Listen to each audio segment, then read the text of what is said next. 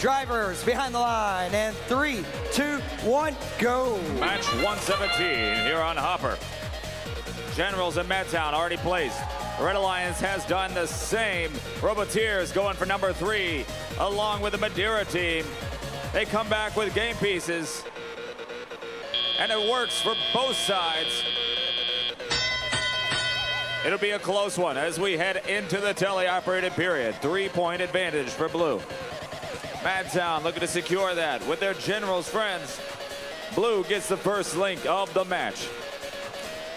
56-75, Wired Cats out of Michigan. Score five-pointer. Their partners Tech Tribe out of Michigan as well on defense for the Red Alliance. 13-23, passing by the blue defense. 43-36, scores link number two for the blue. 90 seconds for play, and blue is up 90 to 58.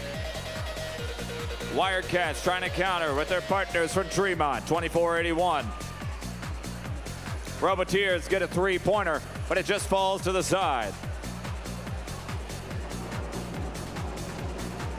Rookies colliding with 13-23.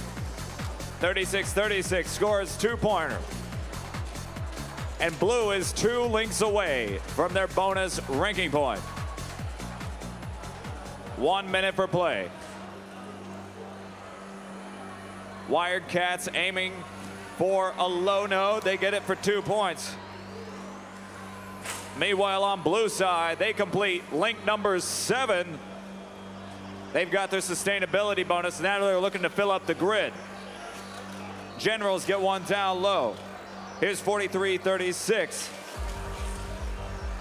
They fill up the grid on blue side. We have a complete grid. Now everything's supercharged. 30 seconds. We got one node supercharged already. Rookies continue to chase down this blue offense. Madtown gets supercharged node number two. Red Alliance has their bonus ranking point. 14 seconds. 13-23 goes back for a fourth supercharged node. Blue Alliance has a double. Three, two, one.